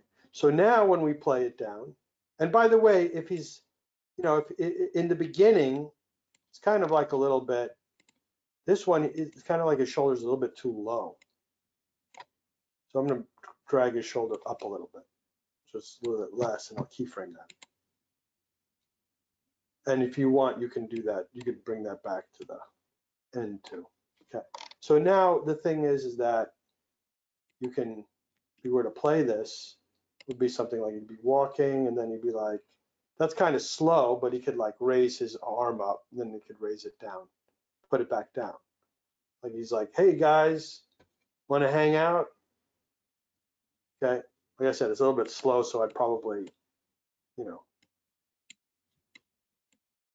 do this a little bit faster. Still kind of slow, but that, whatever. And then, for example, once he, while he's doing that, you know, you could also like go to the head, for example. Over here, do a little overlapping animation. Get rid of its keyframes because it's also a controller. Okay. And keyframe that and then have it like at 60, maybe we take the head, right? And then maybe have them look a little bit like to the side like that. So he's kind of like walking and then he kind of puts his head to the side. And then sometime around here, we can take this one and make his head go over here. So he's then he straightens his head out at the end. So it's kind of like a mixture between hand animation and motion capture. So you've got the motion capture doing, but you're still adding a whole level of animation above the motion cap capture. So, um, so let's see. So basically, um, are there any questions? I mean, you've answered the last ones. Uh, I don't know if you'd seen them in the chat, but a few people had asked about how you could do two animations at once. And um, Syed even said, can you have him wave whilst walking? So either right. you're a mind reader or. well, great minds think um, alike. Yeah. Um, and just uh, abundance of lovely comments as always. Rune saying oh, another you. sensational session. Bernd uh, earlier was sharing his applause for another uh, marvelous class. Thanks again for another great lesson. And it was funny. So Jim actually said, uh, "Any tips on facial rigging?" And I believe that's next week's session. You know, right? we're, we're going to talk about that next week. In all honesty, facial rigging is is something that probably you could spend a whole, you know, week on. You know, um, it there's just so much involved in it. Hi, Elly. Um, the thing Hi. is, um, back. you know, there's there's there's so there's so much to it, really. Uh, and and also here's the thing, as a little precursor to next week, and where we're going to talk a little bit about. Um, I'm just reading the things, and uh, I see some really nice comments. Thank you very much. Jim Jim was actually wondering, Joe, have you written any any books? So I've created some Especially on tutorials. They're on my YouTube channel, Joe Herman, and I'm planning to re- release some new ones. And I was actually thinking about writing, making a PDF actually, um, you know, of tips and tricks and things like that that you don't get from the manual, you know, and stuff that's also based on the art of animation and, you know, um, uh, how to do that and, and stuff like that. And if you're interested in that, um, and maybe making that available or something, you know, I, I certainly, I don't know, send me a note or something. you- something. You'll have a lot of supporters here for for that. Yeah. I think that sounds incredible. Yeah, well, uh, you know what? I might do the PDF and, uh, and then, you know, I'll, I'll, I'll, I'll, I'll let you guys know and, and, uh, I don't know, put it on Gumroad or something like that or whatever. But, um, I've been thinking about that recently, just based on, you know, beyond just the technical, you know, the art of it and stuff like that and, and different things like that. Absolutely. I, I, I'll, I'll definitely let you know, but thank you for asking because it's been on my mind lately. Thank you. And, um, Yeah, just a, but but a as I was going to say, as a precursor to the next week, I was going to say that, you know, char- Oh, yes. facial rigging, um, maybe in a way that's different than body rigging, because even if you have a cartoon body or like a weird body, they kind of are sort of similar. A hand is a hand, you know. But when it comes to faces, they're all really different. And so one approach is everybody has their own approach, really. And if you start looking at tutorials or stuff about facial rigging, you'll find like, wait, wait a second, this guy didn't do it like that guy, and this is completely different than this guy, you know? So I'm going to show you some of the tricks that I like, but it's kind of like, you know, there's one word that I would like to say about all of this stuff. It's called invention, you know, and you really, you know, it, it you really some of it is you have to learn certain techniques, and the rest is up to you, you know, to like invent your own path. There's an old saying that goes like, if the path ahead of you is clear, then then you're on somebody else's path, you know. So I just it- it's something like that, and I just wanted to ex- explain that when it comes to facial rigging, we're certainly going to look at a lot of techniques, but but you might be designing a character who's like got floppy ears or like straight ears or like you know maybe you want some dynamics in the in, in it you know i mean it's just there's just so much involved with that. So uh, I, I don't know if that makes any sense. But It uh, definitely does. yeah. Definitely does. But yeah. So yeah. So um so yeah well i mean i'm seeing the comments and thank you all about that. Um and yeah keep an eye on my youtube channel and and, and i'll also tell you here and stuff like that or also twitter and instagram and yes i i really have been thinking a lot about that stuff as well just supplemental stuff to this stuff so yeah Everyone will be thrilled to hear that. Elly thank you No, I'm good. I'm good. Uh, once again, thank you, Joe. It's like an incredible two hours, and I find it, I find it just absolutely flies by as well. It doesn't Yeah. feel like we're sat here for two hours. It's yeah, it's just extremely interesting, and as you can see by the comments, everyone feels Yeah. the exact same way. It's incredible. thank you Um, yeah, and I Yeah. can't believe it's the final part next week, but I'm excited. Yeah. I'm looking forward to it as Yeah. Yeah, me too. And also, by the way, when it comes to facial animation, some people actually do facial motion capture, where you know you put like these dots on your face and you wear like a a rig, or, or you don't even have to put the dots anymore. I don't think. I think now you just get like a it's like an app on your iPhone or something, you know. But then you have to rig your Yeah. character based on that. So, but we're not going to really talk about that. But that is something to keep in mind. definitely. Cool. Well, yeah, thanks Well, again, Joe. Thanks again to everyone for your yeah. Thanks again for everyone's great comments and questions. We really do appreciate it. It really makes like the workshop uh, what it is when you're all super engaged, which is lovely. Yeah. And Yeah. I hope you all have a lovely rest of your Wednesdays, whether it's the morning or the evening. And then, yeah, me and Joe will see you next Wednesday for the final part. Yep. Have a good one, everyone. See you guys and thank you. Take care now. Bye.